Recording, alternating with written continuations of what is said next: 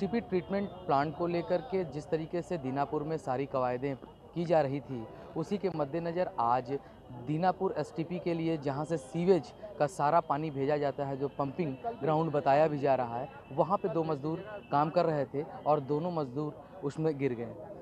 लोगों का कहना है कि दोनों मजदूर अभी उसमें फंसे हुए हैं, वहीं अभी कोई भी आला अधिकारी बताने में सक्षम नहीं है कि वो जीवित हैं या मर चुके हैं। यही कवायद लगभग डेढ़ घंटे से कंटिन्यू चल रही है ताकि दोनों मज़दूरों को उस सीवेज जो प्लांट है उसमें से निकाला जा सके और उनकी यथास्थिति को व्यक्त किया जा सके। पुलिस ने जेई और ठेकेदार को गिरफ्त में लेकर के थाने पे बैठा रखा है। हालाँकि दोनों मज़दूरों की स्थिति अभी स्पष्ट नहीं हो पा रही है कि वो मज़दूर बचे हैं या उनकी मृत्यु हो गई है। अमित दत्ता ईटीवी वाराणसी।